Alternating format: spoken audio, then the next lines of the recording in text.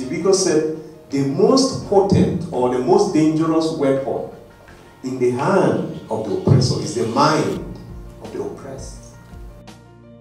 We need to put more effort. Young people are actually not putting any effort, like Kama was saying. Your WhatsApp like 247, Facebook, Instagram, but you don't find time to go to Google and learn something new. Manifest.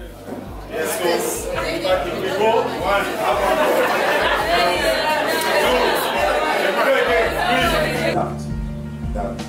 from. You can actually infuse another taste into something else. Now, that didn't come from food. It came from chemistry. Does that make sense? So all of a sudden, we are enjoying food in a very different way because we associated or we, we associated what was related and what wasn't related, right? Object-oriented motor electronic device. It works across Africa and you work with any network provider. You are dedicated, you are dedicated but you lose focus fast.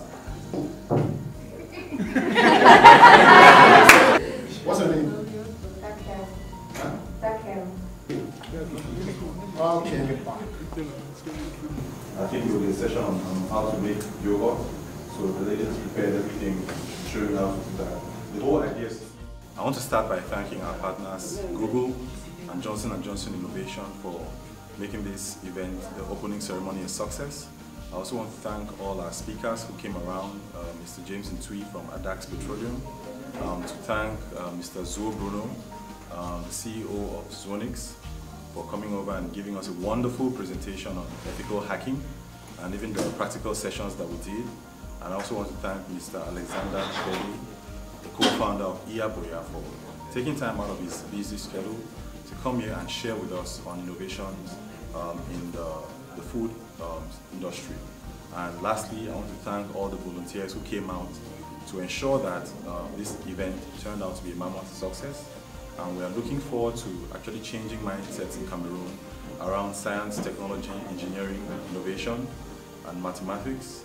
And we are hoping that what we are starting here today through the African Science Week, um, under the auspices of the next Einstein Forum, is going to create a revolution that will impact generations and generations to come. So once again, I say thank you.